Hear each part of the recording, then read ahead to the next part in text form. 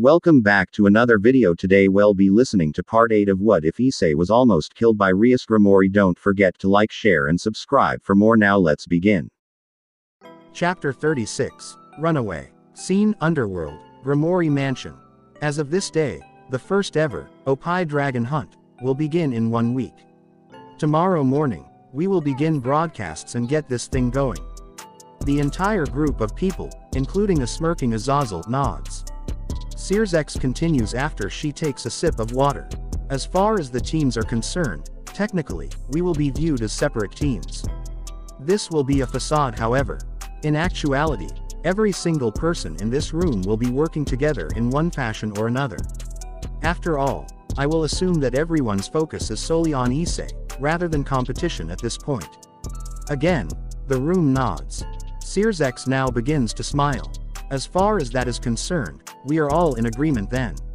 Asia then squeaks out something. Sir, X Sama, the mentioned devil, including the rest of the room turn their heads toward Asia. X smiles. Yes, Asia Chan. Blushing, the little blonde devil nun stands up and bows. X Sama, about Issei. When we find him, and WE will find him, how are we going to approach him? I mean, I don't know what happened to him or anything, but, what if? Xenovia places her hand on the nun's shoulder. Go ahead, Asia, tell us. Asia looks at the ex-knight and moves a stray tear from her own cheek while smiling. Turning her head back toward Sirzechs, Asia continues. What if Issei ran away? What if Ria? What if, she, scared him? Think about it. I mean, if, if, if she did that to me, I know I would want to run away in an end. Stray be damned. Sirzechs widens her eyes at this proclamation. The rest of the room, aside from a smirking Azazel, are quite shocked, firstly at the swear word that Asia had just used and finally, the possibility that Issei ran away rather than kidnapping. The nun now sits back down and begins to cry as she places both of her little hands over her face. Kiba's shock now changed into a look of rage. Everyone jumped at the sudden sound of a chair being tossed across the room. This was followed up by none other than Kiba, striding out of the meeting room in an uncharacteristic jog. The room was silent, however Kiba mentioned something before he slammed the door shut behind him. I think I am going to be sick, excuse me. Nobody knew what to say or do, so they let the distraught ex-knight to his own devices as he left the meeting. Scene, Yasaka Castle, partner. I want to try something, so hear me out.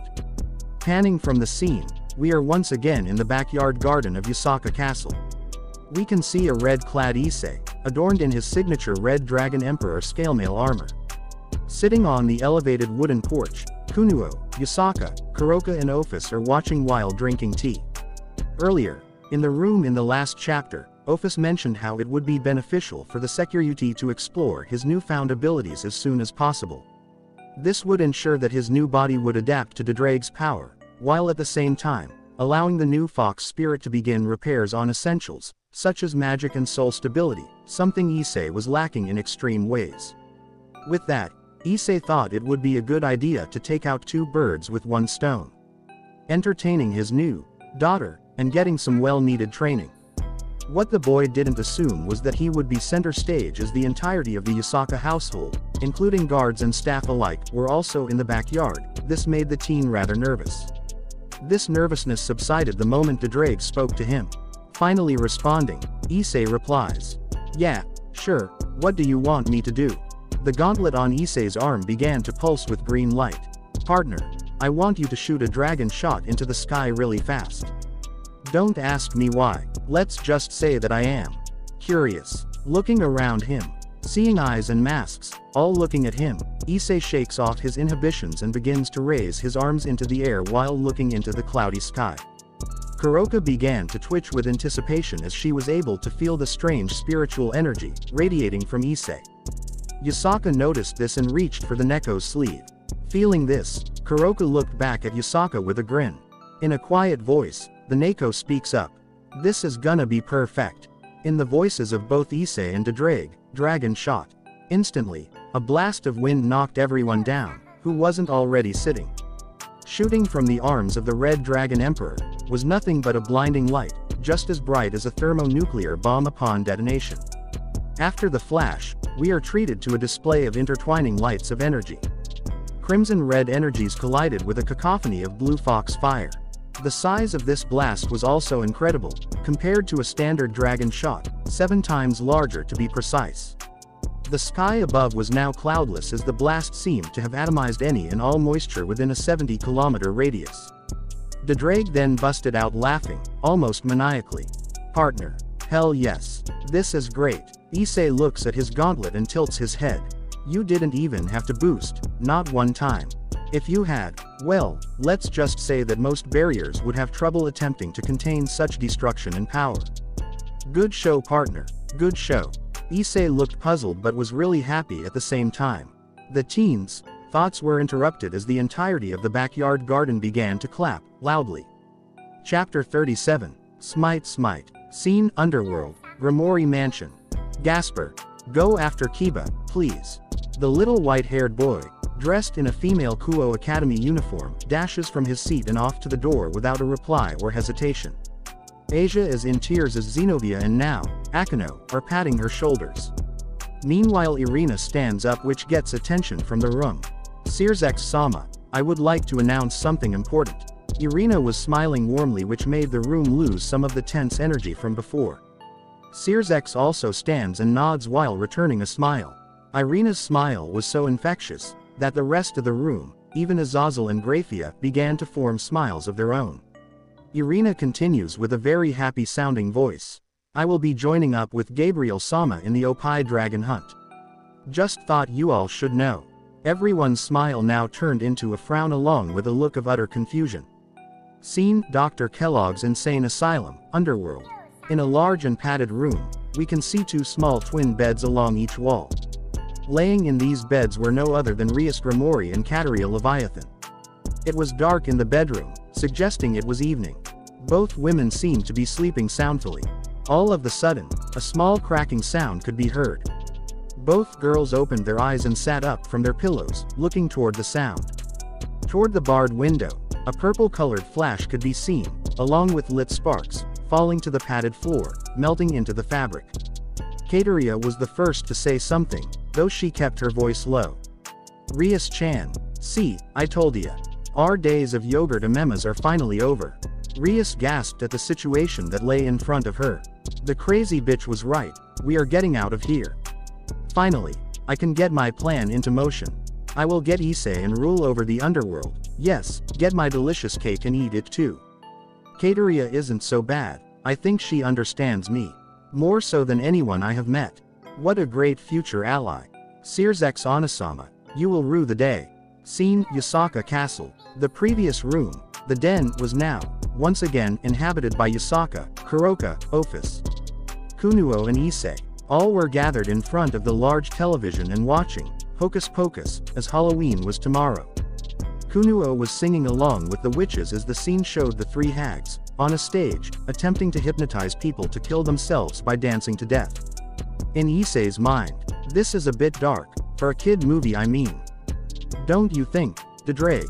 I mean, I don't want the kid to become desensitized or anything like that. I worry, you know.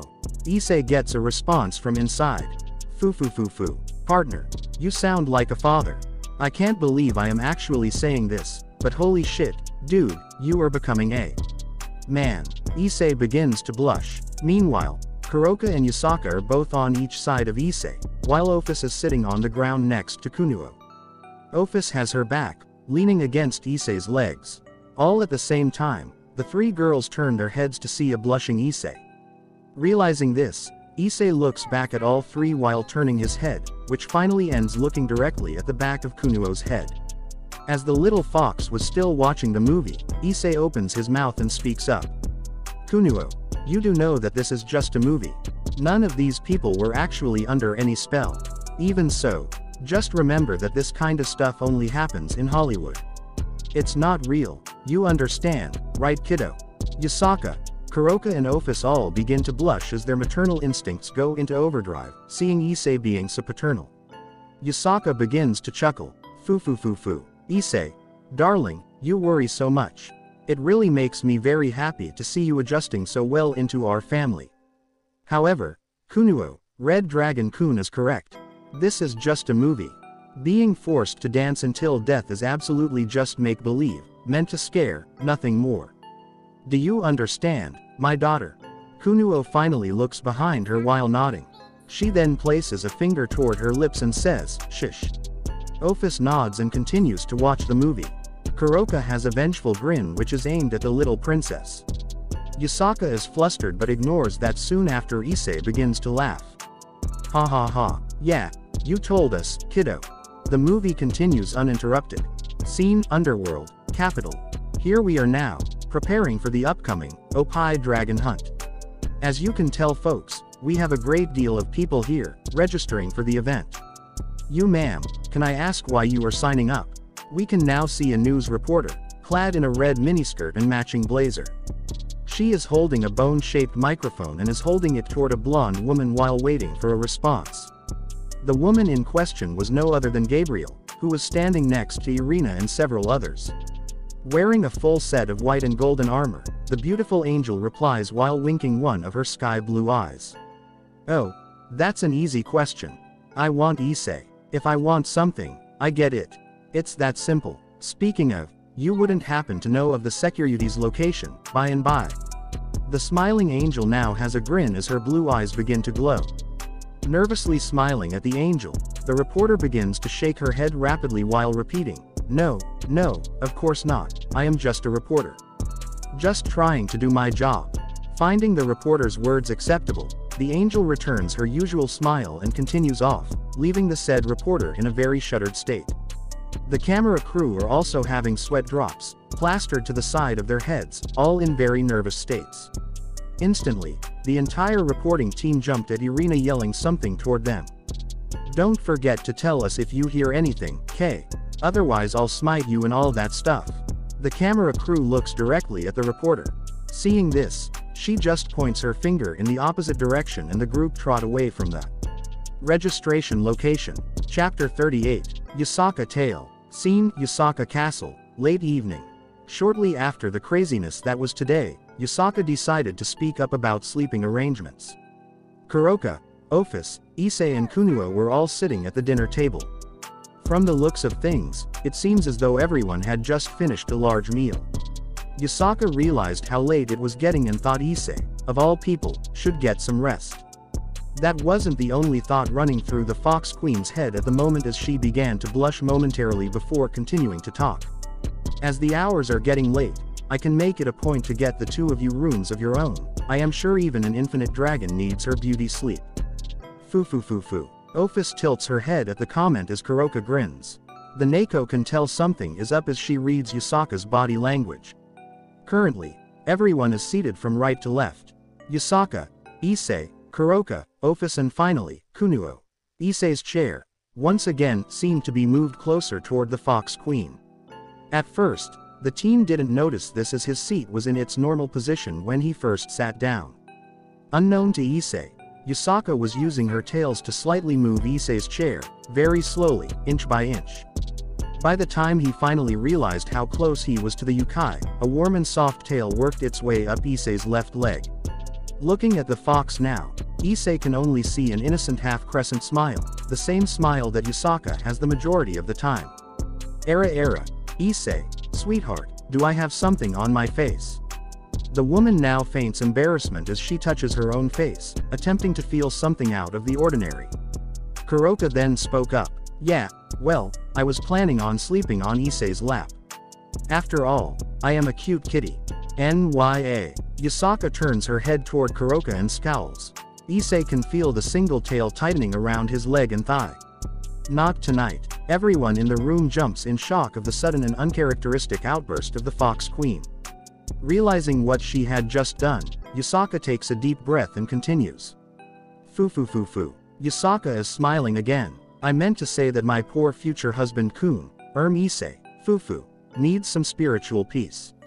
Yes, that is it. Besides, it's my home and I call the shots. The Fox Queen's face now turned into that of a spoiled little girl, one who didn't want to share her new plaything. Issei noticed this and began to laugh. With her cheeks puffed out, Yusaka looks at the laughing teen. What's so funny? Issei continues to chuckle. Haha. Never mind, Yusaka-sama, you were just so cute just now. I promise, I am not making fun of you, but that was super cute. Yusaka looks flustered now as she begins to blush. Cute. He thinks I am cute. I'll show him cute. As the rest of the girls were also laughing at the situation, minus Ophis, who was just staring blankly at Issei, Yusaka stood up while placing a hand and gripping Issei's shoulder. Issei looks up at the fox queen who no longer has a childish-looking face. Now we see a very seductive-looking woman, sporting a grin. Issei. Come. Being pulled from his chair, the teen is dragged from the room by no other than a very assertive Yusaka. A moment goes by as the sliding doors close, then Kuroka speaks up. Well, I guess that settles that, at least for tonight. Say, any of you down for some Smash Brothers? I just happened to bring my Switch with me. Ophis looks toward Kunuo. Sensei, am I to understand that I am to squash a pair of brothers? Laughing out loud, the little fox princess shakes her head no. Ophis-chan, you are really funny, did you know that? Anyway, no, you don't kill anyone. It's a video game. Kunuo then looks at the Nekomata. Yeah, go get it, this will be fun. Kuroka then chuckles. Foo foo foo. Well, I would, but I fear I may be too old and frail, as you said earlier, princess. Kunuo shudders and then composes herself. I meant to say that you, Kuroka, are a beautiful cat girl, super young looking too. Smiling, Kuroka tackles Kunuo into a hug. That's right kiddo and don't you forget it. NYA. Meanwhile, in Yusaka's master bedroom, we see the sliding door open abruptly. Being pushed through somewhat forcefully, Issei was confused as to the sudden action. Meanwhile, Yusaka had a very lustful looking smile as she mildly struggled to get the teen through her bedroom door. Ah, Yusaka-san, what gives? Okay, okay, I'll go on in, no need to push me. Finally getting into the room, the light switch is turned on as the sliding door is quietly closed. Remembering this room from the night prior, Issei turned around toward the Fox Queen, wanting to know why he was forced into this place so quickly. Seeing an unfamiliar smile on the woman's face, Issei was gobsmacked. Then, from the depths of Issei's mind, he can hear a deep laugh. The laugh was that of Ddraig. Throwing his thoughts back at the dragon, Issei asked the question. Dude, really, what is so funny? Also, what's up with Yusaka right now? Waiting for a response from Ddraig, Issei noticed the said fox queen, slowly approaching. As if on instinct, Issei began to back up, moving closer toward the Japanese-style bed mat, unknowingly of course. Seeing this, the fox's smile began to grow. Era era. Just a few more steps back and then I'll pounce my prey. He looks so confused right now, it makes me want to just eat him up. Issei finally receives a response from Ddraig as the dragon takes a brief break in between his laughing fit. Partner. Foo, this will make us even. I told you that I would get you back. Sai healed back some crucial information regarding this Yukai. Foo. Taking another step backwards as the fox took another step forward, Issei began to panic. Ddraig. What do you mean about crucial information? What are you talking about? Stupid lazy dragon. As Issei took yet another step backwards, the dragon finally replied as his laughing died down to a giggle. Partner. Tonight is a full moon, not to mention, All Hallows Eve. Issei tilts his head while not understanding anything the dragon was telling him. Foo foo foo foo. You really are a dote, aren't you? Maybe if you spent more time researching the supernatural, since you happen to be one yourself, then you would know of the nine-tailed fox's mating cycle. At those words, two things became very clear. The first and most important thing was that Issei was no longer on his feet, no, he was now on his back. Feeling pressure on his front half, the teen released that he was being straddled by a very frisky-looking fox queen. As if the first thing wasn't overwhelming enough, the second thing turned Issei's world upside down. Issei. You belong to me now, my husband. I have been patient long enough. You, Issei, like me, you have gone without any love for far too long. Tonight will be one of many, many sessions, in order to make up for that lost time. Now, take off your clothes, while you still can. Yusaka now showed off her fox-like canine teeth as if she was preparing for a meal. Chapter 39, Ingested Alive, Scene, Yusaka Castle, Morning, Kyoto, Japan. In the dining area of the large mansion, we see three people, all sitting at a Japanese-style low table. Kuroka, Kuno and Ophis were all eating individual pieces of toast with a fried egg on top. They were also watching what looked to be some cartoon on the small television in the room. After some time, as the three ate silently, sounds were heard. No, these were not the sounds of the cartoon, no, these were clearly moaning sounds. Loud and steady, Kuroka grabbed the remote to the television from Kuno and muted the program. As the Nekomata's ears began to twitch from the odd noises, Ophis turned her head toward where the sound was coming from. Kuno then looked at both women, then finally toward where Ophis was looking. Ophis speaks up, Sensei. Clearly somebody is being attacked or possibly being eaten alive. Kuroka laughs but doesn't add anything to the conversation. Kuno shakes her head not knowing what that sound was. Ophis-chan, Kuroka-chan, as princess of this home, I declare that the three of us shall investigate. The two older ladies nod and the three leave the room and follow the sounds, which seem to intensify. Finally, the three are standing at a sliding rice paper door. They are able to see what looks to be Yusaka's silhouette, kneeling on her bed. Her tails were also seen, fluttering all over the bedroom as the sounds of multiple objects, falling to the floor, became more prevalent. All three were now looking at each other with different looks of confusion, however Kuroka had a small grin. While still continuing her stare at both Ophis and Kuno, Kuroka suddenly slid the sliding door open. A plethora of different things happened, all at once. Firstly, the scene that lay in front of all three girls, while they stood in the doorway, let's just say if jaws could really hit the floor, they would be. Aside from a grinning Nekomata, a shocked infinite dragon god and a fox princess petrified at what they are seeing. Finally, focusing on the scene that lay in front of the shocked crowd, we see no other than Yusaka, in all of her naked glory, straddling an equally naked, Issei's head, between her thighs. The moment the sliding door opened, both Yusaka and Issei stopped what they were doing and looked toward the shocked women that showed different states of petrification. After what seemed to be like an eternity, Kuroka broke the ice by speaking up. NYA, looks to me that the infamous, Oppai, dragon isn't just interested in boobs. Apparently, thigh pie is on the menu too, era era. Ophis, finally realizing what was going on, immediately shielded the poor and desensitized fox princess's eyes, don't look, sensei. Familiar forest, underworld, you really think that, she, would know where he is. We see Saji, huffing and puffing, as he leans against Momo. He continues to complain. I mean, we've been at it for hours and nothing. Clearly, she doesn't wanna be found.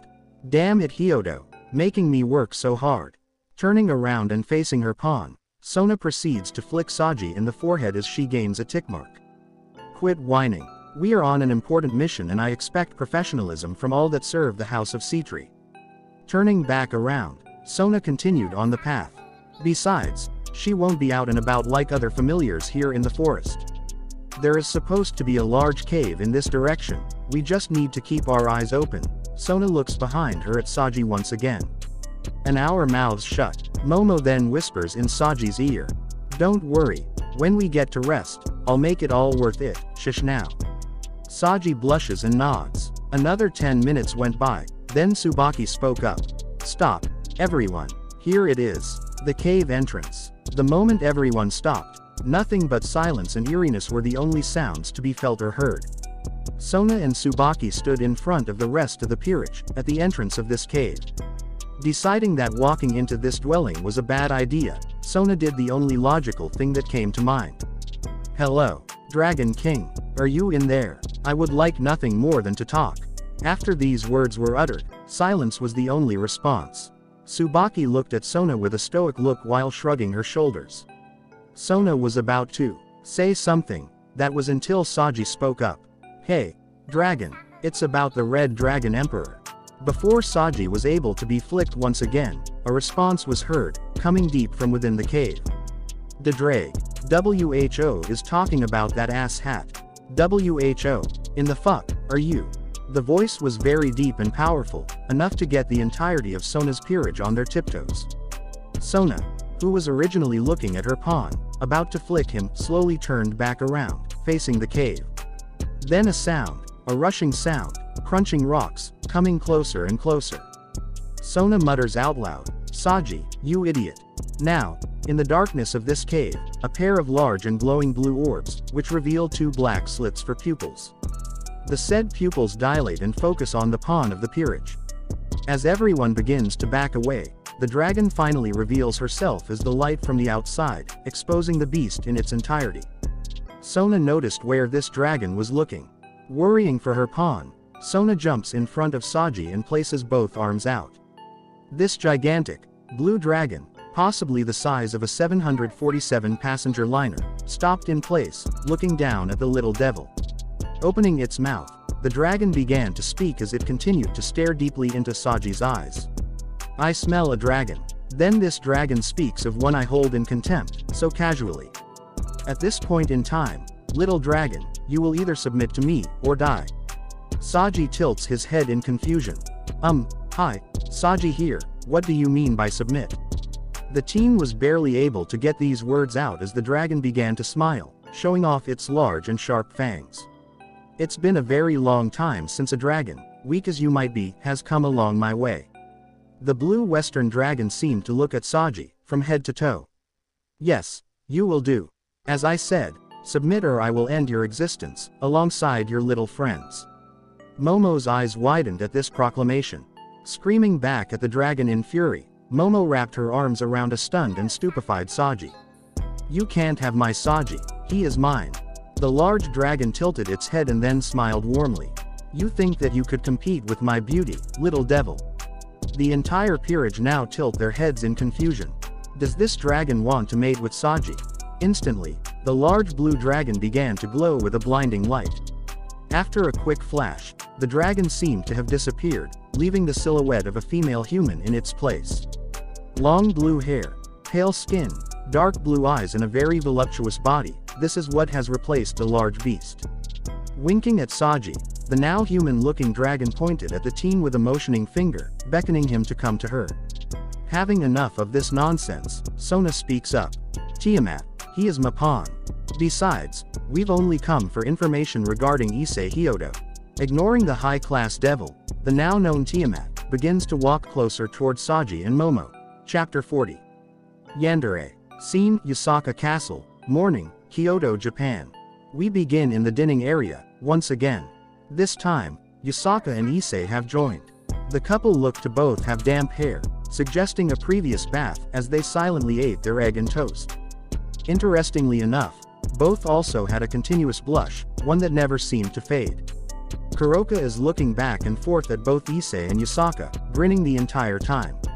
Ophis was preoccupied with the fox princess, Kunuo, as the poor girl seemed to have seen far too much for her innocent little mind to process. Do not fret, sensei.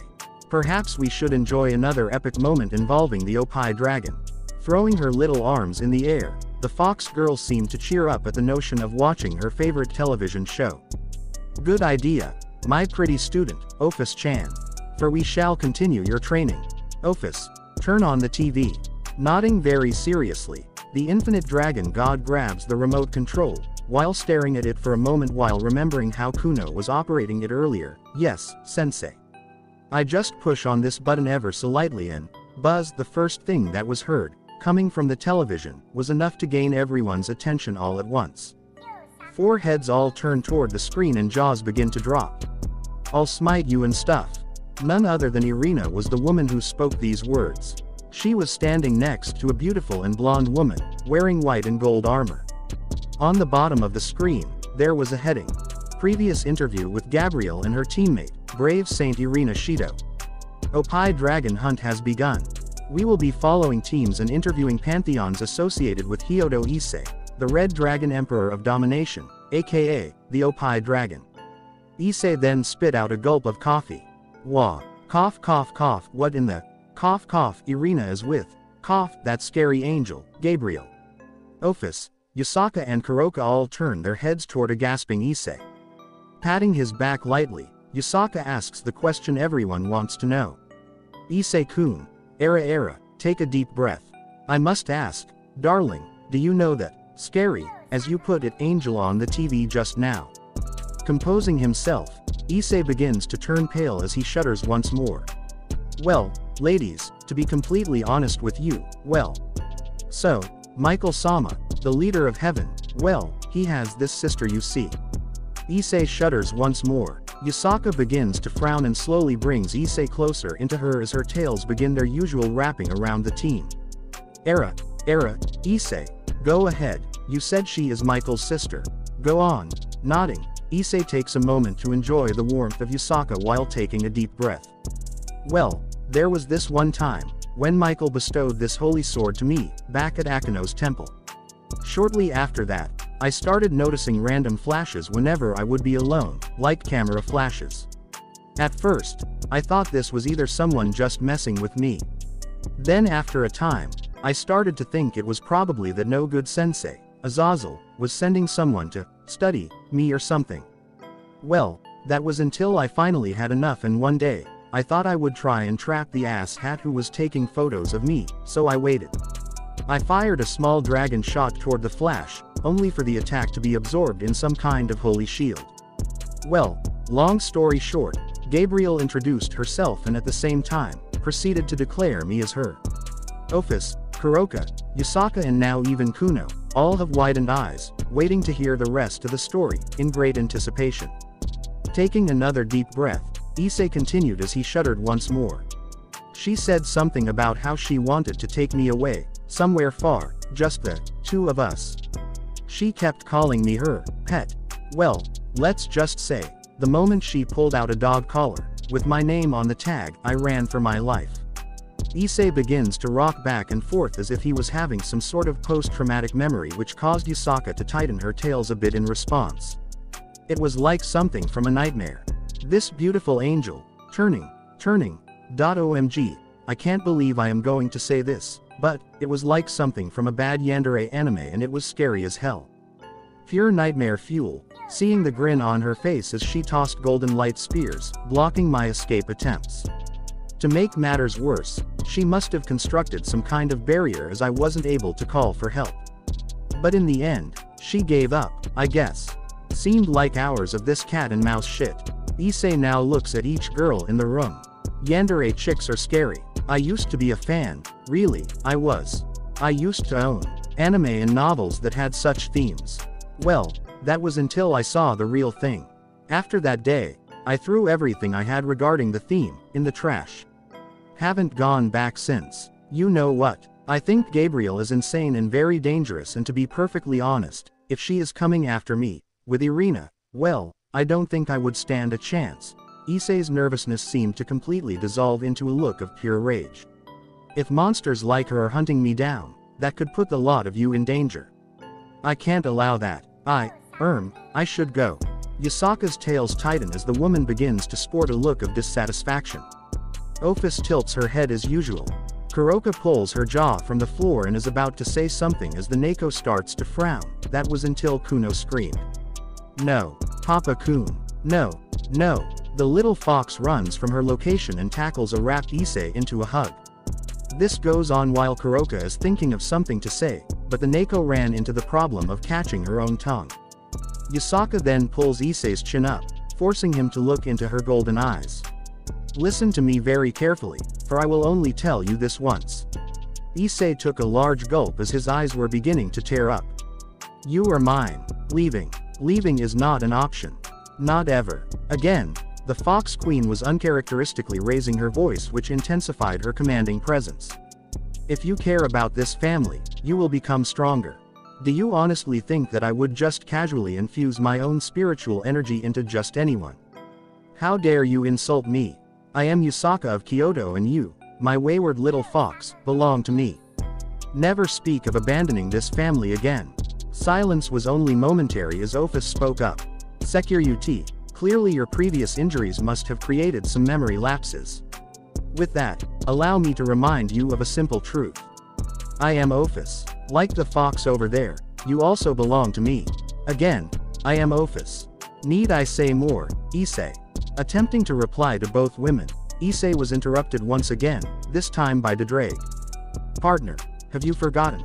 You are among creatures that could easily be considered gods in their own right. Not to mention, we are the Red Dragon Emperor. Running away is out of the question. No, I say, we fight, we protect these good people. Either way, if and when they do track us, eventually, they will be led here. Who knows what could happen in our absence? Perhaps the hunters will use your new family against you, like kidnapping them for your return, it could happen. So, instead of running away, rather, stay here and get stronger. Ddraig's words made complete sense to everyone in the room. Completely gobsmacked with a multitude of emotions, Issei had only one thought running through his head as tears began to stream down and fall onto Yasaka's tails. My family now. My home now. Stick with them, yes. We end the scene with the entirety of the room all hugging the entrapped Issei as he breaks down with emotion. Thanks for watching like share and subscribe for the next parts 1 God in my storage.